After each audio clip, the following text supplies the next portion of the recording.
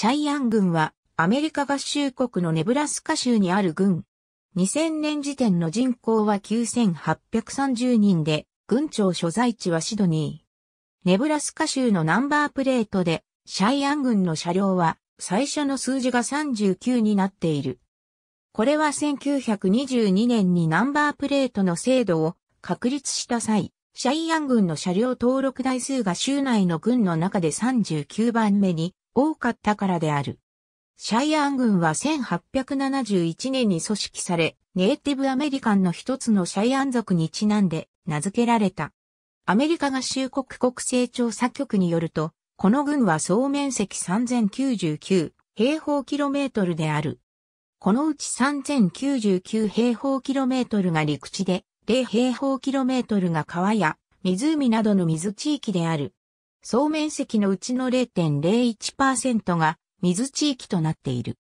2000年国勢調査時の軍の人口ピラミッド2000年の国勢調査によると、シャイアン軍には9830人、4071世帯、及び2686家族が暮らしている。人口密度は3平方キロメートルで、1平方キロメートルの平均的な密度に4569件の住居が建っている。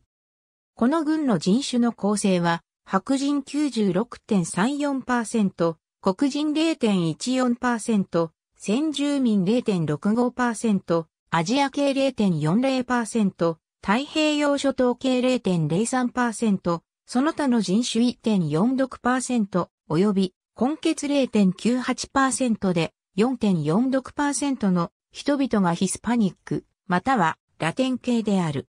軍の住民の45.3%がドイツ系、9.1%がイングランド系、7.6%がアイルランド系、7.5%がアメリカ系移民の子孫である。シャイアン郡に住む4071世帯のうち31.10%は18歳未満の子供と暮らしており、54.80%は夫婦で生活している。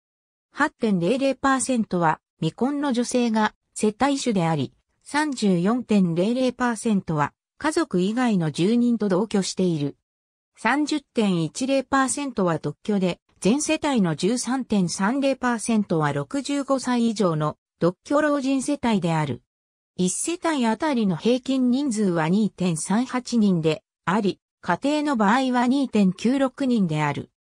軍の住民は26.30%が18歳未満の子供で、18歳以上24歳以下が7.00%、25歳以上44歳以下が26.70%、45歳以上64歳以下が22.80%、及び65歳以上が17.20%となっている。平均年齢は39歳である。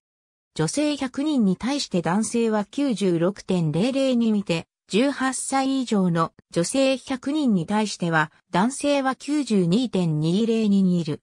軍の世帯ごとの平均収入は33,438米ドルで、家族ごとでは41,024米ドルである。男性の3万米ドルに対して女性は2467米ドルの平均的な収入がある。この軍の一人当たりの収入は17,437米ドルである。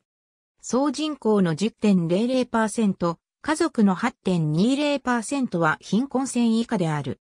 18歳未満の子供の11.80%、及び65歳以上の7.40%は貧困線以下の生活を送っている。ありがとうございます。